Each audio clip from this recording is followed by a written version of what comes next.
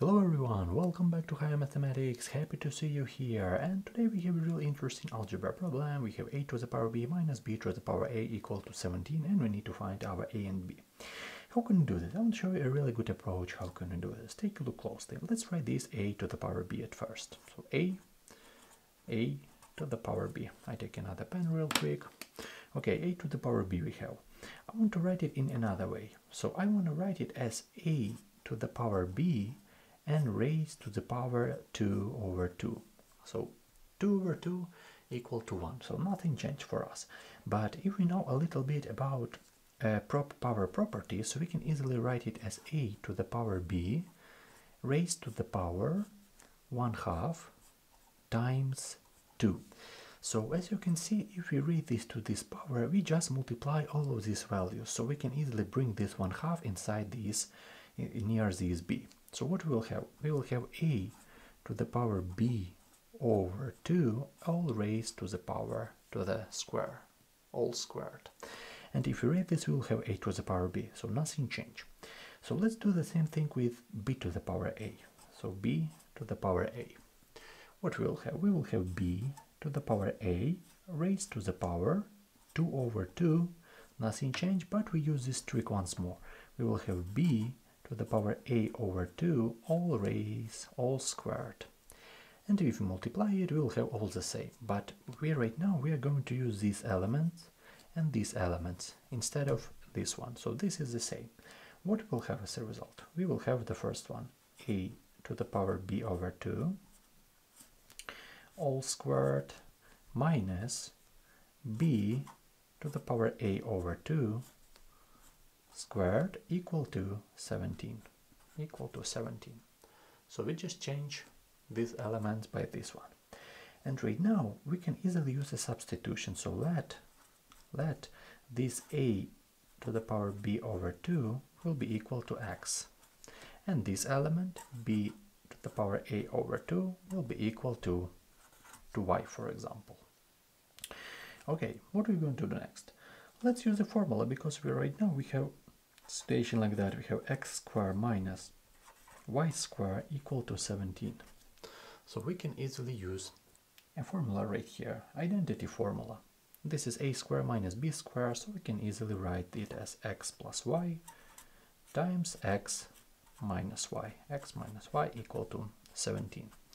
And this is a classic case because on the right here, on the right hand side, we have a prime number. So it's not hard to see that only two cases can be written at this 17 so only as 1 times 17 and 17 times 1 no other cases if we're talking about integers of course. So what it tells us take a look closely. This parenthesis will be 1 this parenthesis x minus y equal to 17 but I want to mention that this parenthesis is greater than is greater than 1 or this parenthesis not greater than 1 but, but greater than x minus y. So this parenthesis is greater than this one. So one and only case that can be written this 17 is when this parenthesis x plus y equal to 17 and x minus y equal to 1. If we're talking about in a reverse way, this does not work because this parenthesis is greater than this one. So what system we will have? We will have a system of equation. We will have the first system x plus y equal to 17 and x minus y equal to equal to 1. So how can we solve this system? Of course, let's add first one to second one. We will have 2x equal to 18 and from here x equal to 9. So we finally find our, our, our first root. And if we are talking about second root, we can easily plug in all of these elements inside of this equation. We will have y equal to 17 minus 9. We will have that our y equal to 8. But this is our y and x. We need to find our a and b.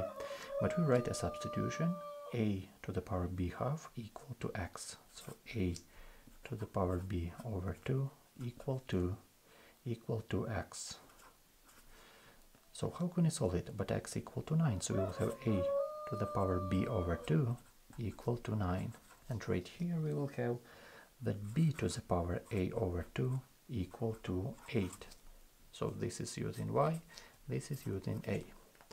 So we have this these equations. How can we find this? If we raise this to the second power, we will have that our a to the power b equal to 81, 9 square.